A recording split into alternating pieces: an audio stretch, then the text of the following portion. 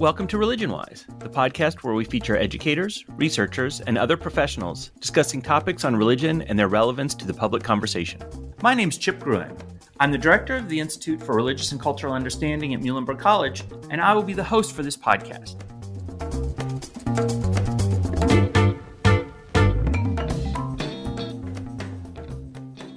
Today's conversation features Tad Robinson, Associate Professor of Philosophy at Muhlenberg College and uh, I reached out to Tad to talk about philosophy of religion. Now, I and lots of people I know and respect uh, and love have been philosophy majors, um, even though they've gone on to other um, other pursuits, other academic fields. But it's interesting to notice um, how many people, whether they go on and as I did in, in religious studies um, or history or uh, what have you, um, start off in philosophy. And in any event, in my undergraduate career, um, I remember having a philosophy of religion course. And what I found is that the conversations within religious studies don't always include philosophy of religion. Um, and so I wanted to reach out to him and talk about this field, what's in it, um, what questions does it ask, what does it use as evidence um, in its conversations and in its arguments, and how it might be relevant to, uh, again, that more nuanced, sophisticated conversation about religion in our world. So without further ado, here's Tad Robinson. Well, welcome, Tad. Thanks for being here today. Hi, thanks for having me on uh, Religion Wise. I'm excited to be here. So, the reason I wanted to talk to you is among the the large repertoire of cl- classes that you do, one is philosophy of religion. And I know that your research is also interested um, in this and that you're just generally an active scholar in this field. And it seems to me that not everybody who is interested in religion necessarily knows what philosophy of religion is and knows sort of the classic questions that philosophy of religion poses and how that might be different from other ways of thinking about religion. So, so just to start off sort of at the beginning, what is philosophy of religion? Yeah, thanks. Um, you know, it's it's a complicated question, so I uh, apologize that this will probably be a little bit of a longer answer than you know had you asked what is biology or something, right? Um, and I think part of the problem is that philosophy itself is not a particularly well understood field. So let me just say a little bit about that before saying, uh, you know, talking about what philosophy of religion is. So in you know general terms right philosophy is unlike other fields like geology or biology in the sense that it doesn't study a single uh, you know single element of nature right a single thing in the world right?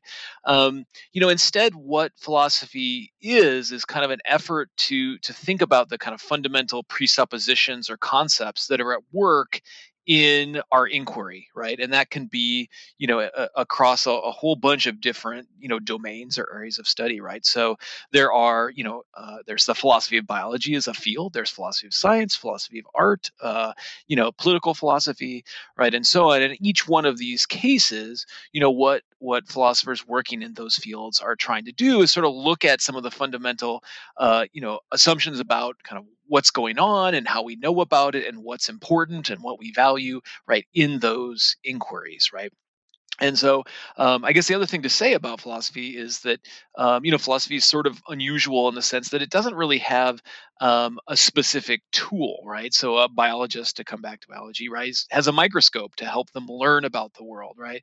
Unfortunately, there is no such thing as the philosophical uh, microscope, right? Um, so, one of the things that's sort of distinctive about philosophy is it's uh, it's uh, reliance on argumentation and reasoning, right, as its sole tool. And of course, that doesn't differ from lots of other fields, but um, the reliance on reason, right, um, uh, or the focus on reason uh, and not on other tools um, for thinking about fundamental concepts and presuppositions is something distinctive about philosophy as well. So that kind of gives you a little bit of a sense of what philosophy is, right? But so, what is philosophy of religion? Well, it's just the effort to kind of look at uh, some of the fundamental presuppositions uh, at work in in in people's thinking about religion, right? Um, so that that's kind of a super general kind of characterization, right? But um, to to get a little more detailed, you know might think well what what unites religion? Right? What what what could we say about religion in general? What are the fundamental presuppositions at work? And of course that's a really hard hard thing to say right? People in religion studies will will tell you for example right hey what religion is is a super difficult question right? And so i don't want to you know uh, claim to have some answer to that. But I think you know if we sort of take cases, uh, uncontroversial cases that we would characterize as religion, right? Um, you know, one of the things we'll find is some sort of belief uh, or set of beliefs about ultimate reality. Um, you know, some set of beliefs about kind of uh, our relation to it, and some set of beliefs about, um, you know, uh, what we should be doing in light of those two pieces of information, right? And so, um, philosophers uh, will, will will focus there. So um, this brings us to kind of the classical arguments for God's existence, for example, right? The uh, you know God is one way of thinking about ultimate reality, the way the world might be at its deepest level, um, and so there, are, you know, a question you might ask is, well, do we have any good reasons for thinking that ultimate reality is this way, right? And so you get kind of standard arguments about, uh, you know, design, right, and, and order, uh, moral arguments, for example, that hey, there is such a being, right, and of course there are arguments against that. One of the other things I'll just uh, say um, here, and we can talk a little bit more about it later if you want, is just to say that I think of um, you know atheism as perfectly within the realm of, of, of, a religion in the context of philosophy of religion, right? So, um, as I was just talking about uh, philosophy of religion, I said it t- looks at ultimate uh, views of ultimate reality. And I see uh, an atheist, right, who's say a naturalist, uh, uh, you know, somebody who comes at the world and sees it to be studied solely by by scientific means, for example, as somebody who holds that hey, ultimate reality is the world in front of us, right, the world of empirical reality. So, it, to my mind, right, um, you know, atheism is perfectly within the realm of thinking um, for philosophy of religion. That is to say, long story short, you don't need to be religious to be interested in philosophy of religion. Yeah, well, and I would I would posit, I guess, that there might be two separate claims there. One is that atheism is, in fact, sort of a, a, theological concept, right? Because it claims knowledge about the world, right? It claims that there is not a God, right? Which is a theological claim.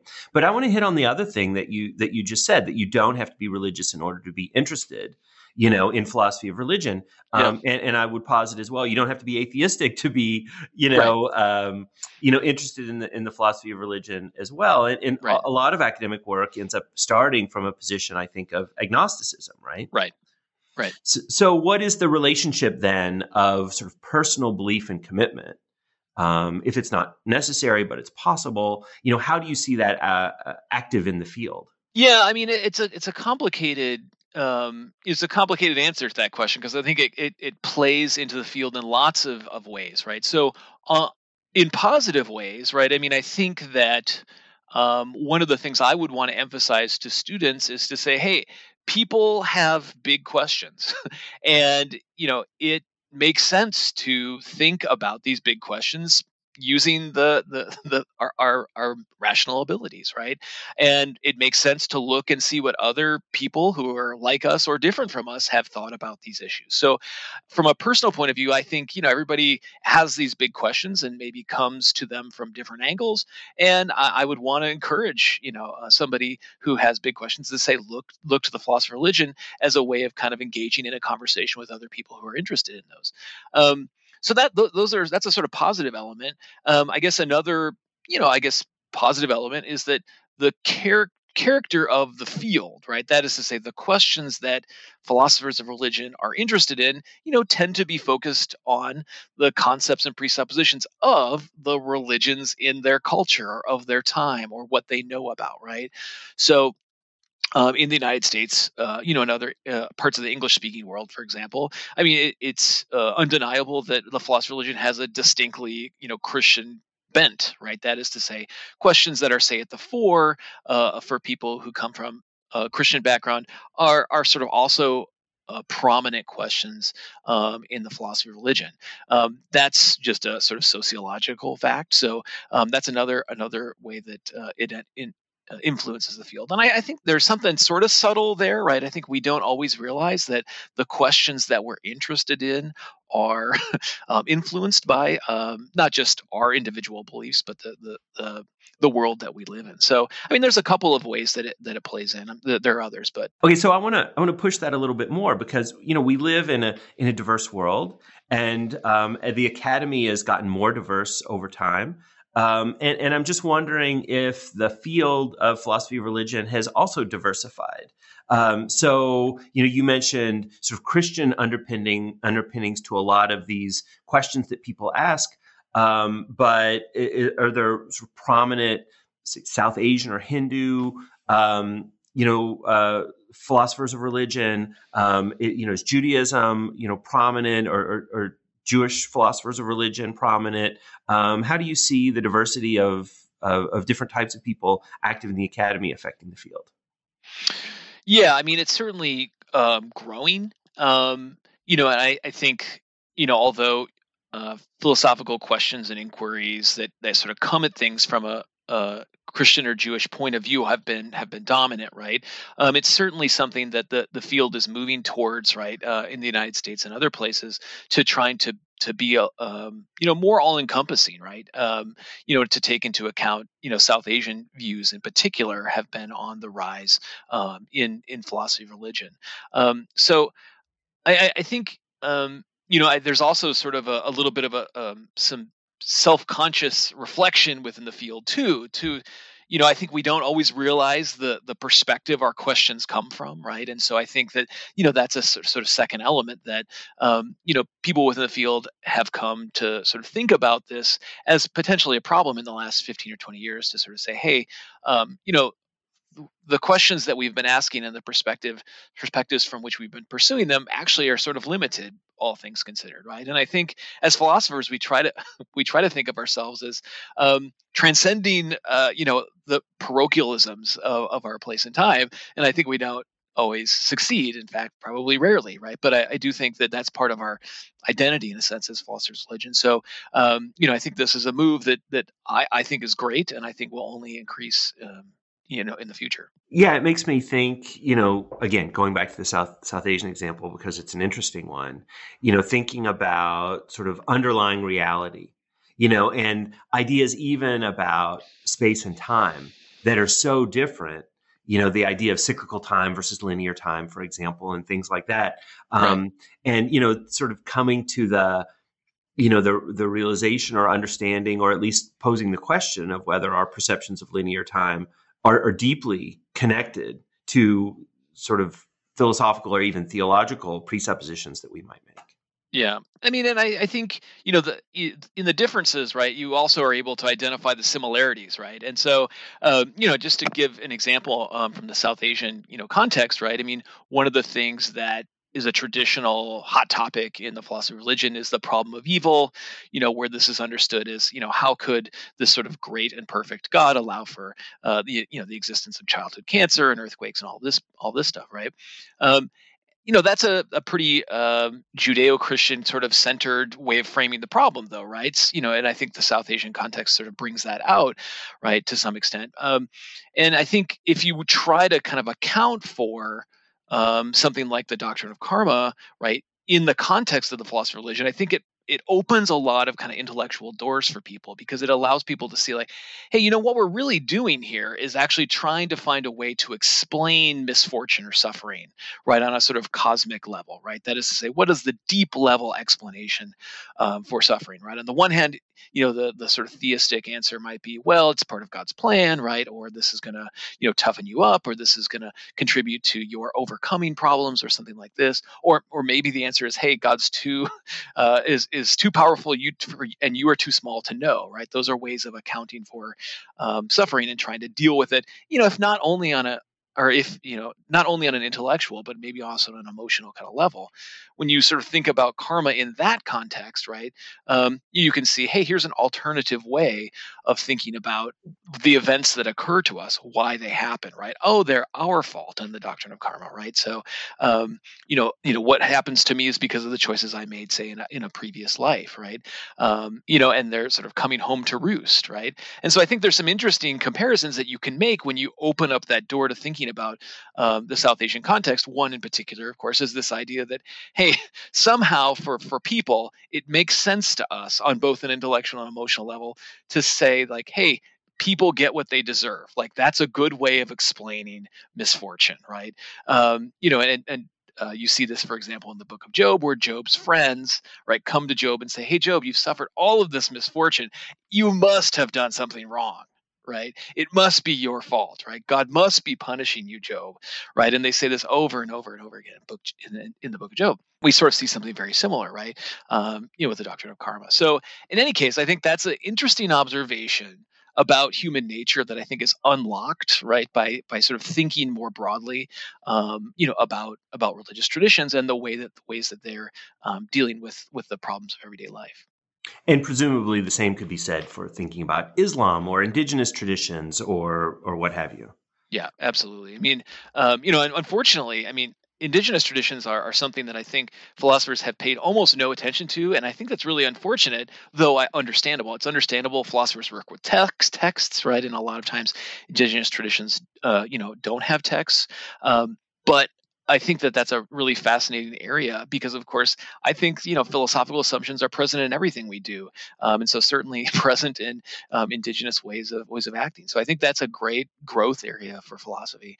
Um, and in Islam too, I think Islam is too often um, categorized as uh, you know Western religion along with Christianity and Judaism, you know, kind of thereby um, adopting everything that's the same about it, but leaving aside anything that's different, right? So I think that that's also an area that that philosophers of religion in the future uh, will look to um, in terms of, of, of, sort of looking for you know interesting elements that that that uh, compare cross culturally.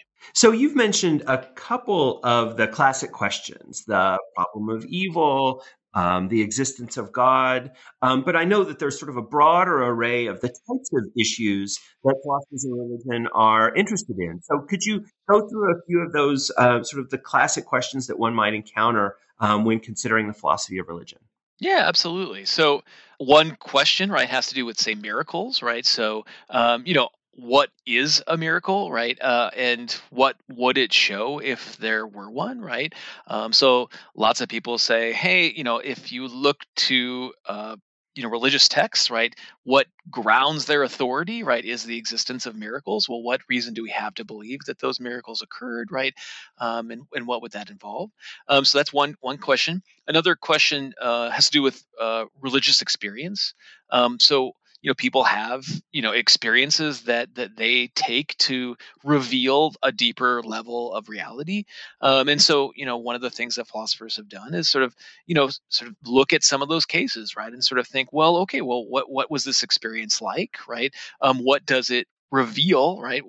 What could it reveal? That is to say, what would a religious experience maybe have to be like in order for us to know that it's veridical or something like that, right? What does the fact that people have different kinds of religious experiences in different places and different times mean, if anything? Um, that sort of touches on questions of religious diversity, right? Which is a sort of broader question about, well, what does the fact that there are many religions mean, if anything, right? Does it show that, say, my particular beliefs are unjustified because not everybody agrees with me, um, or or not, right? Um, there's lots of questions about afterlives, right? Whether there are any, what what kind of arguments there are for thinking that there might be one. If there was one, what would it be like, right? Um, so, uh, you know, how this is related to morality. So most uh, views of the afterlife are moral v- views. That is to say, what you do in the in this life is relevant to what happens to you in the afterlife. But on the other hand, there's um, a lot of traditions um, that are less less well recognized. I think, according to which there are non-moral afterlives. That is to say, everybody goes to the same place, um, what you do in life is not relevant. Um, you know, questions about uh, petitionary prayer are kind of uh, a big topic, right? That is to say, like, um, you know, in a theistic context, context of thinking about a, a, you know God in a Christian or Jewish or Muslim sort of perspective, right? You might think, well, uh, you know, God knows everything. So what's the point in my asking for it if God know knew before I was born that I would ask for it, right?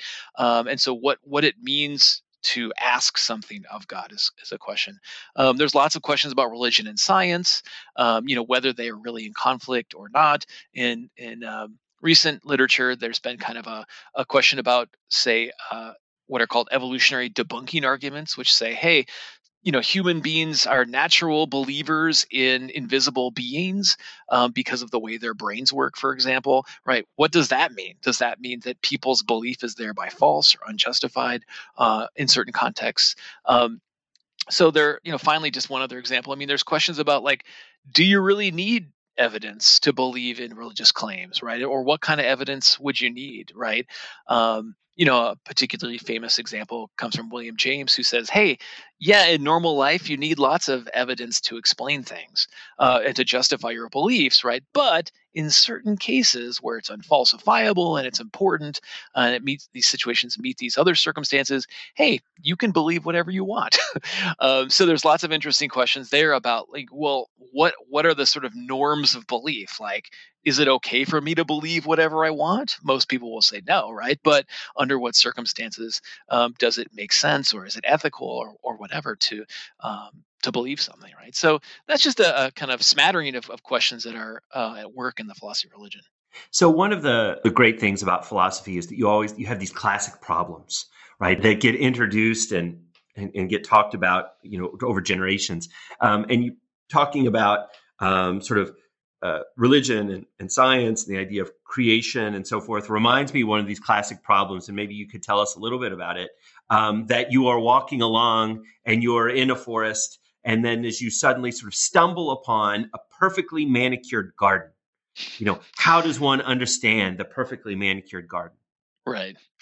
Yeah that's a that's a good one and um, so yeah normally that kind of uh, thought experiment uh, you know is intended to to show hey you would assume if that happened to you that there was a designer that is to say that the garden was created on purpose intentionally with a design by you know somebody right? And so you know we're supposed to look at the world and see similar kinds of kinds of design right? Um, so the sort of other famous example of this this other version of this argument comes from Willie, william paley right who, who gives a design argument on this basis. He points in particular to the eye right? And he says hey look at the eye. Isn't this an amazing machine? Right? Um, just like if you found a watch on the heath you would know that it had been designed. So too you should look at the eye right as designed. And so um, you know those kinds of arguments have sort of that particular kind of argument has kind of fallen out of favor um, because there are alternative explanations for why the eye is the way that the eye is, right? Uh, namely evolutionary ones. But um, the sort of contemporary version of that argument uh, is called the fine tuning argument, um, and and goes kind of roughly like this: Hey, um, the conditions for life in the universe are exceedingly improbable, right? So, um, you know, there's various ways of developing the argument, but you know, roughly it kind of goes like, hey, you know, life could not develop if there were not planets, right? There could not be planets if matter didn't stick together in just this way. Matter couldn't stick together in just this way. You know, if you know the the the value of the the neutron was off by five percent or something like this. So there are various mathematical physicists have sort of put together some of these numbers, and you get these. Um, sort of ridiculous numbers to understand. So, you know, uh, Roger Penrose says something like the odds of life existing in the universe, given that so many things could have been different, is something like one in ten to the 123rd power. Um, and so the idea is like, like you know, that's so that's like winning the lottery every day for your whole life, right? And so the idea is like, hey, isn't this amazing right? Shouldn't you see this as a case of design right? And of course there are there are responses to this argument to say eh, those ways of calculating are off or yeah that's true but there are 10 to the 123rd universes. And so yeah it's not surprising at all that there's one just like this. So in any case yeah it's a that's an argument that has a long history one that you know comes up to contemporary uh, contemporary philosophers. So in the Institute for Religious and Cultural Understanding, we have two sort of main parts of the mission. One is about religion, religious literacy, right? And the other is about sort of encouraging and modeling a more sophisticated conversation about religion in the public sphere. And yeah. so I guess my question is, you know, how does a knowledge of philosophy of religion aid that goal? Like, what is it about philosophy of religion that allows me to confront the world in a better way, or to read the headlines in a better way, or to be able to recognize uh, religious diversity in my community in a way that is that is more sophisticated and richer and fuller. Yeah, um, you know, in some ways, I I, I sort of think of um, you know what philosophy of religion does for you is sort of you know emanating from the inside out right so you know when we engage in the philosophy of religion we tend to do so from a you know our, our antecedent position right where where are we what do we think right and as we kind of look at our assumptions um, and we think about, well, do I have really reasons for that? Does that make sense given the other things I think? We start to realize kind of the the contingency of a lot of the things that we think, right? Um, that's not to say that they're wrong, right? It's just to say, hey, I, I ended up with a whole bunch of things that I think about the world that I ended up with really through no work of my own, right? Through no effort of my own and I think when we when we start to think that, we put ourselves in a position to kind of be a little more autonomous in our beliefs. But I think at the same time, it also allows us to understand other people because they are like us, presumably, right? That is to say, presumably, a lot of what they think they kind of ended up with as a result of you know their who their parents were and where they were born and all of these things, and and maybe they haven't really thought about it very much either, right? Um, and so there's a sense in which I think we sort of start to realize how much we're not maybe pawns, right? In this sort of larger cultural uh, game, right? But the extent to which really we're a lot less autonomous than maybe we think, and I think that allows us to kind of see other people in a new light, right? Um, and I think it also, you know, opens the door for thinking about, um, you know, uh, what other people think and why they think it, right? Um, I guess the other element uh, that I would say, just a little more broadly, um, you know, is, is I think you know certain issues in the philosophy of religion, and I think the problem of evil broadly construed is one.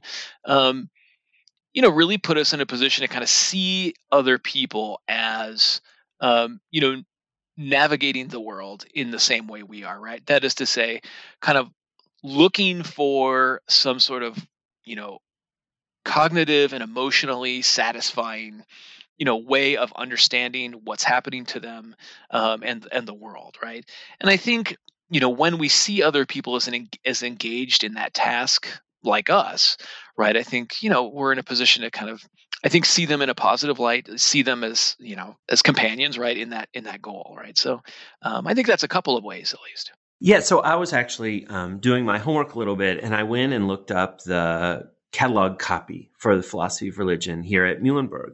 Yeah. And one sentence sort of st- stuck out to me, and um, and I want to read it to you. It says one of the goals of the course is to explore the possibilities of intellectually responsible religious commitment in the contemporary world. And I want to kind of play devil's advocate for a minute, sure. and and ask if the presupposition is that sort of religion should be intellectually responsible. I mean, of course, right now in the world, we see all kinds of, of very emotive and almost, um, not even almost, anti intellectual religious positions out there. Um, how do you deal with that? And, and proudly anti intellectual at that, right? That God's wisdom is not the same as human knowledge, right? That there's a disconnect there. And to be upside down to this world is to be right side up with the other world. We, we see yeah. that, that strand. So how do we, how does the philosophy of religion deal with that sort of anti intellectualism and, you know, the idea that religious commitments may not be responsible to the same set of, sort of assumptions or presuppositions about what the what the good is in the world? Yeah, I mean, I think that's a that's a great question, and I, I guess sort of two things occur to me. One is sort of a, a, a bigger picture answer, and I think, um, and the second is more specifically will more specifically address your your question. But sort of broadly speaking, I mean, one of the things that I think the philosophy of religion gets tied up with in people's minds sometimes are these sort of wider kind of culture war issues. You know, as if you know what we should be doing in philosophy of religion is is sort of taking a, a position in these culture wars right? So you know atheism versus christian fundamentalism right? Um, and i you know I, I, guess i think that those questions are not particularly philosophical right? Um, and so i think it's a sort of a shame that sometimes philosophy religion gets gets tied up um, you know in those you know wider questions that you know at least here uh, in the united states. Um, so I don't sort of see philosophy religion as doing that. And in fact, I would want to actively distance philosophy religion from from those those sort of culture wars. Um, more specifically to your question though about you know how do you deal with somebody who's you know really a, a approach is anti-intellectual how you know um, and I, I think you know on the one hand you know if somebody's if if a if a student or somebody else is just utterly unwilling to consider reason in any way, right? You know, obviously, you know, philosophy is not the place for them, but maybe college, right, or inquiry is not the place for them. So, I mean, I, I want to start from a place where, like, hey, people are sort of interested in having reasons for at least some of what they think, right? And if that's our starting position, I think you can kind of walk somebody into thinking, hey, you know we can we can talk about philosophical questions in the philosophy of religion so for example right somebody says like hey you know god is totally ineffable right? That is to say there's just nothing that we can know about god right? Um, you know that's a knowledge claim right? How do you know that right? Um, you know, I think that's a, a, place to start, right? So this person is making a claim about how they can know about God, right? So we can ask about how they know that, and even though they may not be willing to sort of be, or may, they may not be interested in exploring detailed questions about the nature of of uh, the God that they believe in, right? There's at least questions around the periphery, right? Moreover, to the extent that you can get them to answer questions about, you know, how they know God is ineffable, right? You can extract some standards of knowledge, some epistemic standards, and sort of apply them more broadly and see if they're consistent. So, I mean, that's an that's that's one way. I mean, the the second similar kind of way is right somebody who says like, hey, this is all a matter of faith, right? Um, right? no reason is involved, right? Again, you can play a similar sort of game where you say, well, you think reason is involved sometimes in some things you do, right? If you're a juror um, in a case, right, you think that it would, you know, it's your job, for example, to to sort of look at the evidence and, and judge accordingly, right? Um, and and of course they'll say yes, but and that's a sort of starting point to say, okay, well, so reason is really important in that case, but it's not important in this case why right? And i think you know to the extent that they have or don't have an answer to that right um, that's a that's a doorway into to thinking about well how does reason apply? When does it apply? When doesn't it apply? And, and as far as i'm concerned those are great philosophical questions. So um, so that, that those are a couple strategies. So one of the fun things about our job you know teaching 18 to 22 year olds right is is exposing them to um, to things they hadn't thought about before, or or at least helping them to think about things in maybe a different way. And I'm sure that in your in your time, um, you know, you could you could come up with with a million stories of the ways that students have surprised you, or things have come uh, have, have come up that were unexpected. And I'm just wondering, you know, for the student in the you know early 21st century you know what are some of the things that that sort of come up now that you um, you know that you think are particularly interesting or particularly telling um, you know in teaching the the philosophy of religion? Yeah i mean i think um, one of the things that you know i've been a little surprised about um, and i think in a in a good way um, you know in in recent you know versions of the course is sort of students openness to thinking about um, you know different perspectives. I mean that's not something that i think is always the case. Um, you know i think uh, in teaching this course in particular uh, which is maybe a little surprising but um, to give you a little more detail i mean I think the last couple of last couple of times I've taught this class, there were students who kind of came into the course, sort of coming at it from a pretty naturalist, uh, uh, maybe atheistic, maybe agnostic kind of perspective, um, and and I think who ended up being really interested in the course in a way that they weren't expecting because you know the course does sort of attempt to capture that perspective right because i think just to give a couple of examples i mean i think you know asking hey well what gives life meaning if this is your perspective right where do values come from if this is your perspective? How do we understand uh, the misfortunes that occur from this perspective, and do the the answers to those questions from a naturalist perspective, um, you know, fit with other things that we value or think, and how do they compare with, say, traditional uh, certain kinds of traditional religious answers. I think students ended up being very interested in in those kinds of questions in a way that they didn't expect. And to be frank, I, I didn't expect to sort of follow along. So that was really encouraging and really really fun. And we had a lot of a lot of fun conversations the last couple uh, versions of this class. All right. So one of the the things that we try to do on religion wise is ask the sort of so what question, right? That we mm-hmm. have a constituency you know, generally educated, interested in religion, interested in understanding, um, you know, religious belief and practice that's around them in the world. And, and so we'll just end up on this question. how does this matter to them? Right. So what? If I'm listening to this podcast, how does uh, a knowledge of philosophy of religion, or how does sort of a uh, an understanding of the way the field works help me to navigate my world um, sort of civically engaged way?